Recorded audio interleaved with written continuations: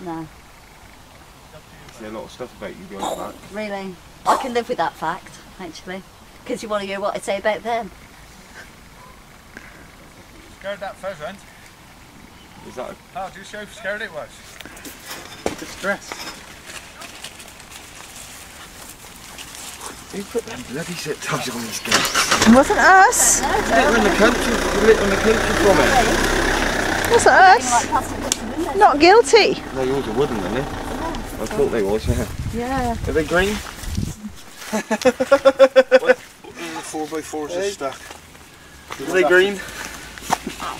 One of the vehicles stuck. Can you tow him out over there? Over the back. So he's gone in. Well, who in their right mind would want to be taking a vehicle out when it's so with, a wet? load of idiots. Well, that's evident, isn't it? They put that on the internet, oh, you don't see from it. Oh, here we go. It, it looks like he's having a bit of a blank day, doesn't it? Yeah. Hunchback on horseback. I tried to get her a job wicked in, she won't have it. She wants to lay the trail out, does She stinks. Oh, you know as well. Hey, Taking Emily What? out to the hub What? you want to keep a Lou? pound there, Andy, right? Seriously now, Really? really? tip, tip of the month, right? A pound, Andy, you never know when the electric goes off. Really? Innit? huh? How's your electric in your house, Lynn?